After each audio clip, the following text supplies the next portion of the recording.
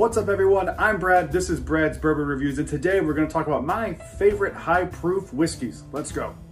First up, one I cannot live without, Jack Daniels Barrel Proof. I love this stuff. It clocks in at a whopping 134 proof, 67% alcohol. This stuff puts some hair on your chest, but it is absolutely delicious. Next up is from our friends at the Buffalo Trace Distillery, Benchmark Full Proof. I know some people really either love or hate this. I fall in the love category. I like it a lot. I get like really deep dark chocolate notes and cherry when I drink this, especially on the nose. But it is really, really good also. If you can find this, definitely grab it. And last but not least, we've talked about it a lot on the channel before, but we're gonna talk about it again. Rebel Cask Strength. This clocks in at 120 proof, I believe. Yep, 120 proof. And it's delicious. It, this is the easiest drinking of the three of these. You cannot go wrong with this.